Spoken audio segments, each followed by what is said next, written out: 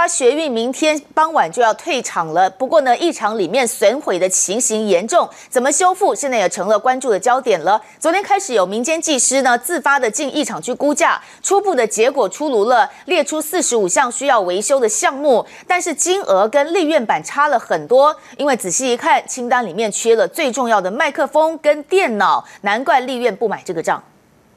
太花学运确定周四退场，目前一场内包括桌面还有地面已经完成初步清洁，不过硬体的修复现在才正要开始。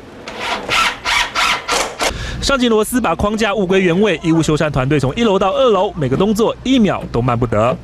基本上这个手一手就可以用了啦。为了赶在十号六点前清理完毕，八号开始就有民间技师分批进场，一共五十四人做初步估价，结果出炉跟地院总务处差了不少。初步这样子看一下的话，就是这样子，就是说。跟报仔说要商议是有点落差的啊。满满两张 A4 纸，包括窗户、窗帘、门把、扶手等等，光是初步评估，场内就有四十五项等待维修。只是什么都有，独缺最重要的麦克风跟电脑，也难怪跟立院估价结果差了这么多。尤其立院更明白表示不接受学生自行找人进场施工，估价也得依照立院版本。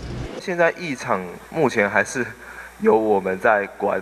呃，管理的，所以其实我们还是会决定，希望有一些品相先由我们这边做，先做一些维护。那立法院总务处的话，我想他们也有自己的规划。学生扛起责任，坚持用自己力量让立院复原，只是国家机关一切都有法定程序，立院不买单，即使学运退场，后续恐怕还有的吵。